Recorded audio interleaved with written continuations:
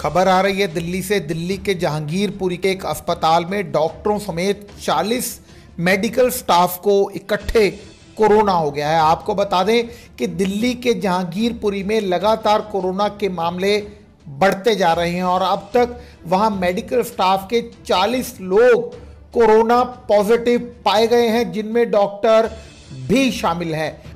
और ये लोग बाबू जगजीवन राम अस्पताल में काम करते थे और फ़िलहाल इस अस्पताल को सील कर दिया गया है। इससे पहले भी जहांगीरपुरी की एक ही गली में आपको बता दें कि 46 लोगों के कोरोना पॉजिटिव मिलने की खबर सामने आई थी।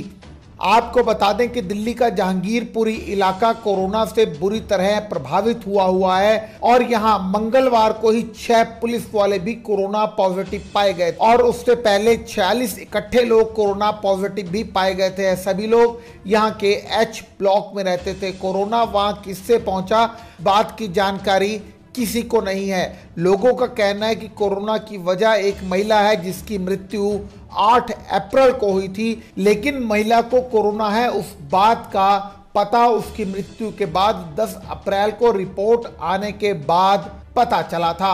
आपको बता दें, जो लोग अभी अभी हमसे जुड़े हैं, एक बार उनको फिर से बता देते हैं कि दिल्ली के जहांगीरपुरी अस्पताल में डॉक्टरों समेत 40 मेडिकल स्टाफ को कोरोना हुआ है। और दिल्ली के स्वास्थ्य मंत्री सत्येंद्र जैन ने बाबू जगजीवन राम अस्पताल में 40 डॉक्टरों तथा मेडिकल स्टाफ को इकट्ठे कोरोना पॉजिटिव होने की पुष्टि की है, जिसके बाद इस अस्पताल को बंद कर दिया गया है। और डॉक्टरों समेत 40 मेडिकल स्टाफ जिन्हें कोरोना हुआ है, उन्हें अलग अलग अस्पतालों में शिफ्ट किया गया है। आप बने रहिए रफ्तार न्यूज़ के साथ।